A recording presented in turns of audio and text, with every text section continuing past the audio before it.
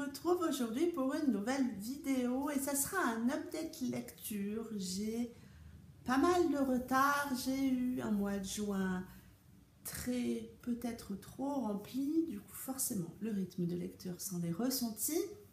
Mais ça y est, ça repart et du coup je recommence les updates lecture. J'ai aujourd'hui quatre romans à vous présenter et on commence tout de suite. On commence avec le tome 3 de la saga Follow Me, Dernière Chance de Fleur Anna. Euh, j'avais euh, lu les tomes 1 et les tomes 2 à leur sortie et j'avais vraiment, vraiment hâte euh, de, de, continuer cette saga. On retrouve ici Sofiane et Audrey qui sont les deux derniers infirmiers de la bande de potes qu'on suit. Euh, dans le tome 1, on suivait Ange qui était infirmier avec Lise. Dans le tome 2, on suivait Anthony. Et dans le tome 3, donc, on suit Sofiane et Audrey. Une nuit, alors que Sofiane euh, est devant sa console euh, dans le salon de leur maison où ils vivent tous en colocation, Audrey le rejoint, comme ça leur arrive assez régulièrement euh, depuis qu'ils vivent ensemble. Et euh, Sofiane propose à Audrey de devenir sex friend en mettant tous les avantages euh, en avant par rapport à leur situation à tous les deux et par rapport à ce que ça pourrait leur apporter. sur le coup, Audrey, elle est très surprise, elle ne sait pas quoi répondre, elle ne sait même pas si Sofiane ne plaisante pas un petit peu, puisque c'est quand même... Euh, euh, Sofiane, c'est un petit peu le rigolo de la bande et il n'est jamais pris au sérieux. Et du coup, bah, elle ne sait même pas s'il plaisante ou pas, mais du coup, ça l'a fait réfléchir.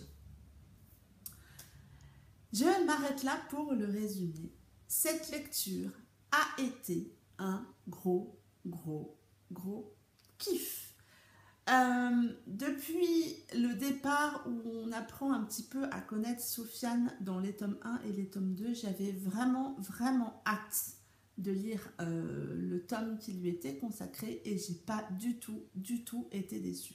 Sofiane, il est drôle. Sofiane, il se prend pas la tête. Il a malgré tout la tête sur les épaules et on le découvre vraiment euh, dans ce roman. Et et euh, pour moi, ça a été un gros kiff de suivre son histoire avec Audrey et, de, voilà, de, mieux le connaître et de continuer à le découvrir.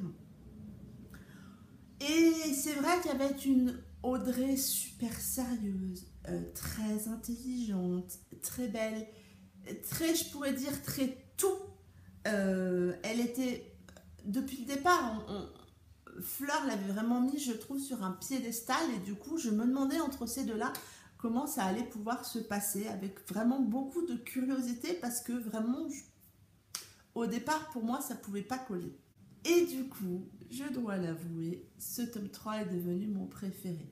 Le tome 2 n'avait pas surpassé pour moi le tome 1 autour euh, de Lise et de Ange. Pour moi, leur histoire reste très belle.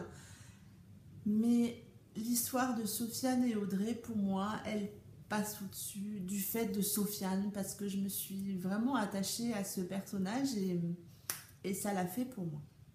On retrouve ici le schéma peu classique que Fleur a déjà fait sur le tome 1 et le tome 2, à savoir que c'est plutôt la nana qui n'a pas le beau rôle ou ouais, qui a le mauvais rôle entre guillemets euh, et là, en particulier sur ce tome-là, ça collait vraiment pas à l'image qu'on avait d'Audrey. Euh, mais finalement, Fleur va casser Audrey, vraiment. Euh, et, on découvre qu'elle a des énormes fêlures et j'ai adoré ça, la façon dont ça a été amené, la façon dont ça a été utilisé, travaillé, c'est vraiment très bien fait. On retrouve là un sujet euh, qui est également bien traité par Fleur et, et voilà, sa plume, euh, euh, sa plume est toujours aussi addictive. on retrouve il n'y a pas de schéma classique, mais pour moi, ça reste une très très belle romance. On retrouve tous les autres personnages, on retrouve Lise et Ange, leur histoire évolue et on la voit évoluer également dans ce tome 3. Et mon Dieu, qu'est-ce que ça a été dur de les lâcher, toute cette bande de potes. C'est vraiment l'univers qui a été créé par Fleur euh, euh, à la Friends, je pourrais dire, est vraiment euh, super agréable à lire. Les personnages sont tous très différents et tous très, très attachants. Mais je pense que voilà, elle fait, Fleur fait bien de s'arrêter à ce tome 3. Faut pas faire un tome parce que ça marche, un tome de plus qui serait peut-être un tome de trop. Même si dans ce tome 3, des nouveaux personnages arrivent et on pourrait se dire, tiens, il y a peut-être quelque chose qui va, qui va se faire pour un, tome suivant, mais je pense qu'il faut s'arrêter là. Et voilà, l'histoire s'arrête là, je les laisse s'en aller, euh, mais vraiment, vraiment, vraiment, Follow Me est une magnifique saga que je vous Je me suis ensuite tournée vers le tome 5 des Blood of Silence sur Nirvana. J'avais très, très, très envie de retrouver tout cet univers. Comme vous savez, c'est une saga que j'aime beaucoup, beaucoup. On retrouve ici Nirvana, qui est donc le road captain euh, des Blood of Silence, euh, donc le club de motards euh, qu'on suit depuis le début. Et Nirvana va voir réapparaître Sky du jour au lendemain. Sky et Nirvana se sont rencontrés à l'âge de 17 ans. Ils se sont aimés euh, et ils ont vécu une très très belle histoire d'amour. Mais euh, cela fait 14 ans qu'ils ne se sont plus vus. Et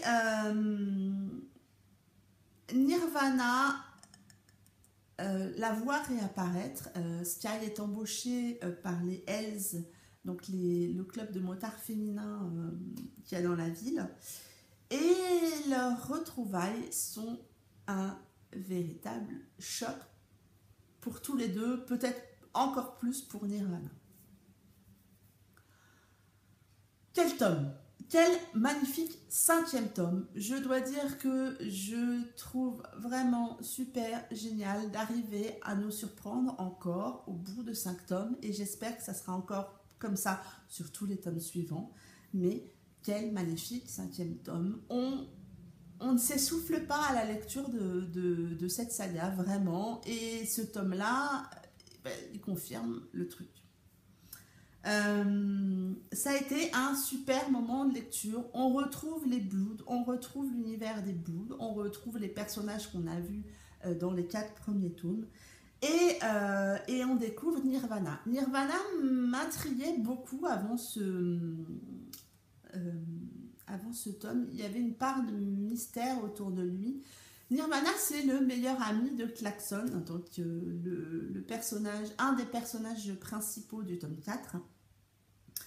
Il a un très très fort tempérament, Nirvana, vraiment. Et, euh, et Sky je pense que c'est une anti-héroïne. Vous allez peut-être être nombreuses à ne pas l'aimer. Euh, parce qu'elle a pris des décisions qui vraiment, clairement, ne vont pas plaire à tout le monde. Vraiment. Euh, elle est.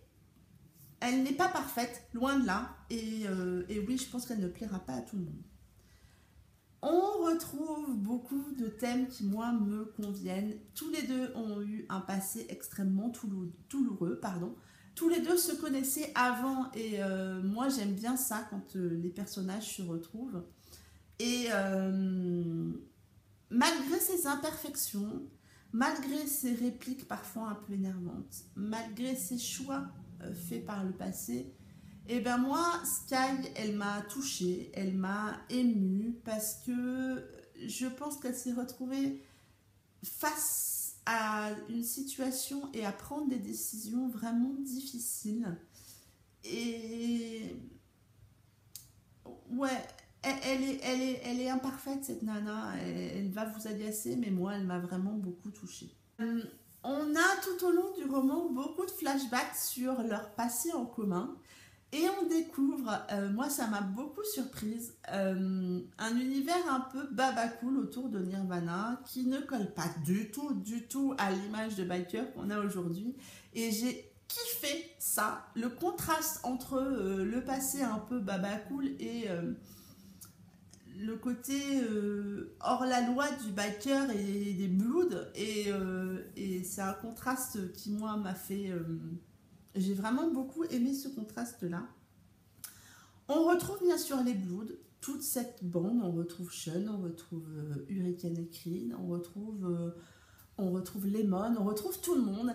Le club continue à évoluer, évolue on pourrait dire, euh, et on est très très loin des Bloods qu'on avait dans le tome 1. C'est vraiment une évolution qu'on a tout le long des tomes, celui-là ça continue. Euh, on a une excellente intrigue autour du club euh, dans ce tome 5. Et mon Dieu, on a une fin. Comme d'habitude, vous me direz rien. Mais on a encore une fin. Mais on se dit, ah, c'est pas possible. Il est où le tome 6 euh, et, voilà. du coup, bah, j'ai très très hâte d'avoir ce tome 6. Je sais même pas, je crois que ça doit être peut-être une sortie en fin d'année. Je, vais, je vais regarder ça, mais que vous dire des Blood of Silence si ce n'est commencer cette saga Ne vous arrêtez pas forcément sur le tome 1 qui pour moi, autour de ce triangle amoureux, m'avait pas mal agacé. Mais après, ça a été un gros kiff de tome en tome.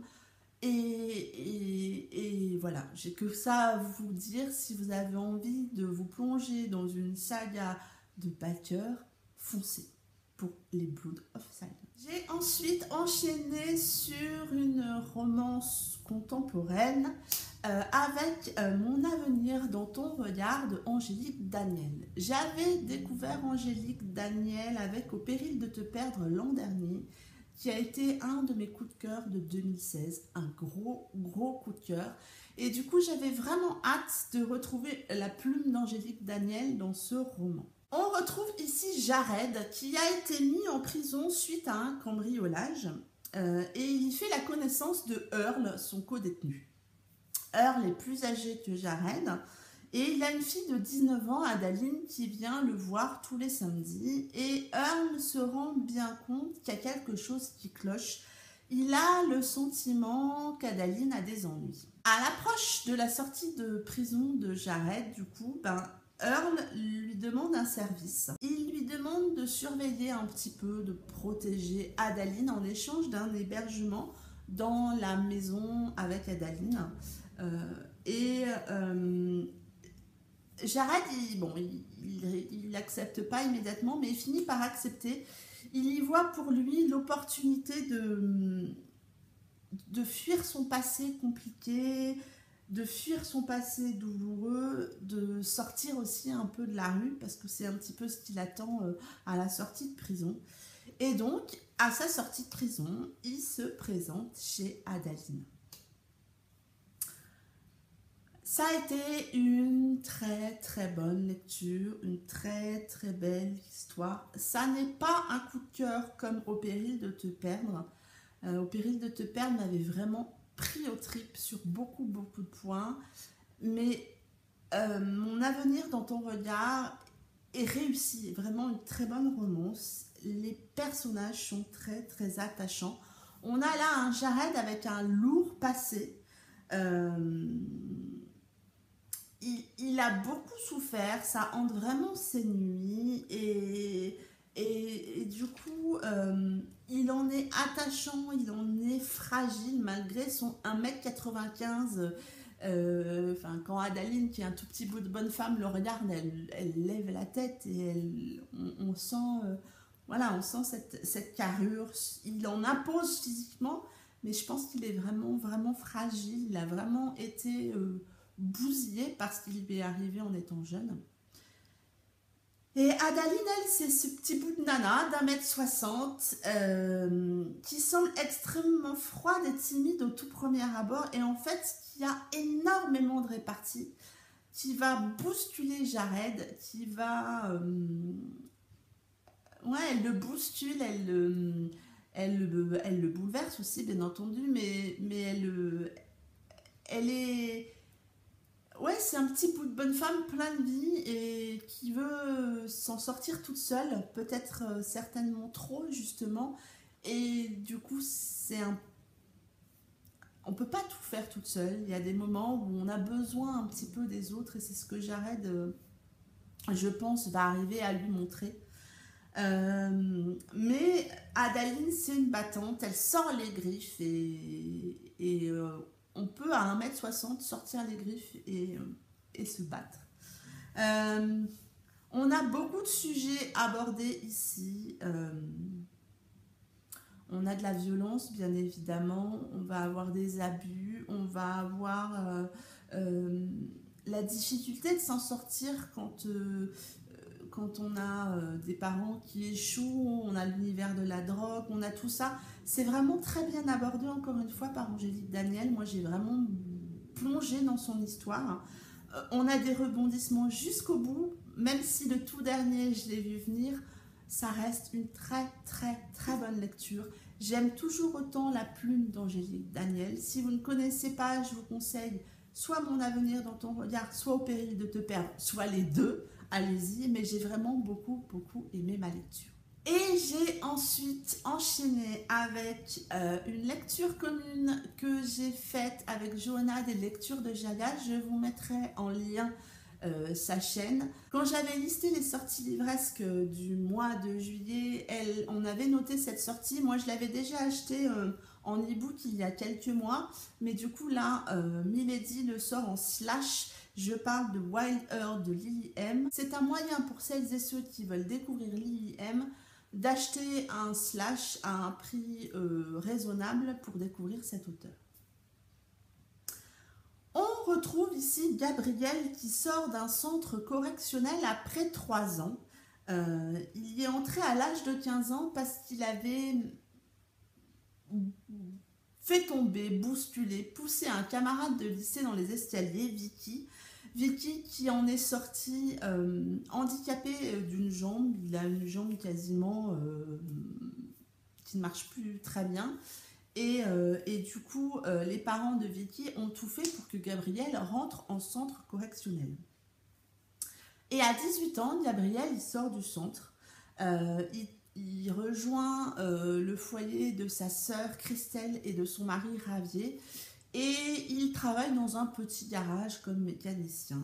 Mais Gabriel, il est en colère perpétuellement.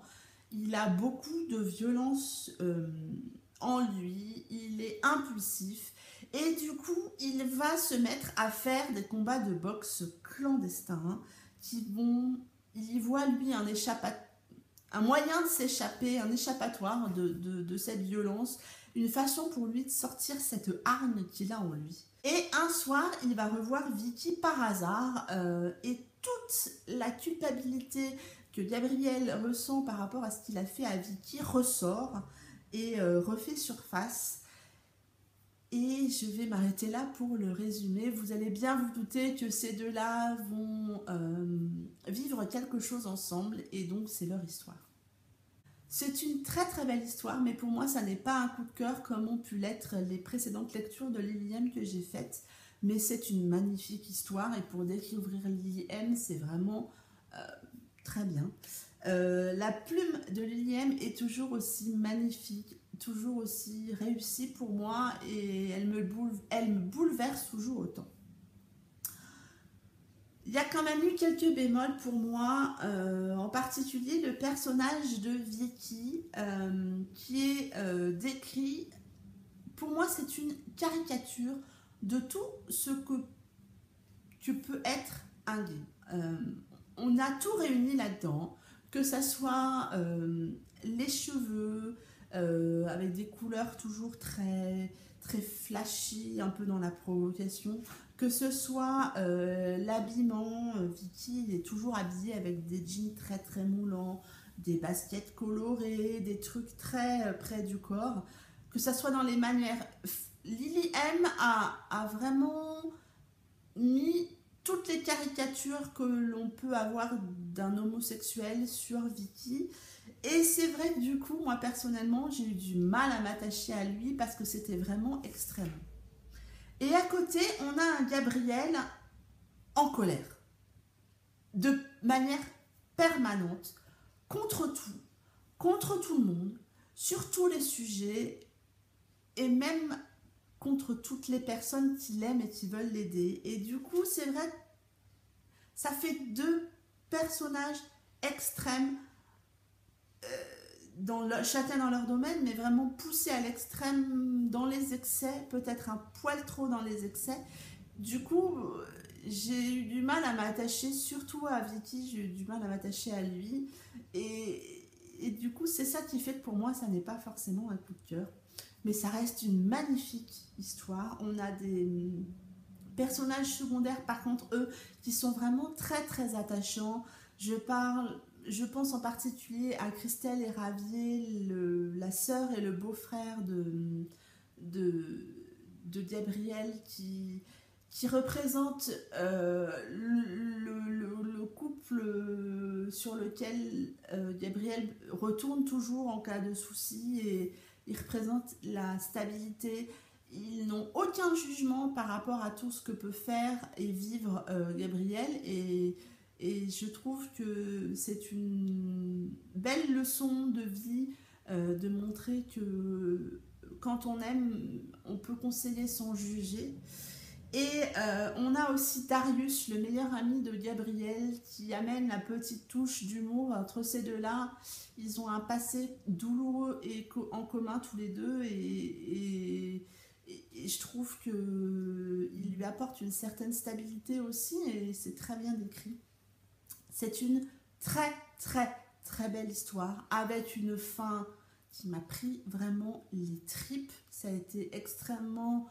Euh, il y a eu un chapitre vraiment difficile où euh, euh, je discutais avec Johanna et je lui ai dit Oh non, ce chapitre-là, c'était juste horrible. J'étais en larmes sur ce chapitre. Mais c'est une très belle histoire, un très bon Lilienne, même si ça n'est pas un coup de cœur, ça reste une très très belle histoire.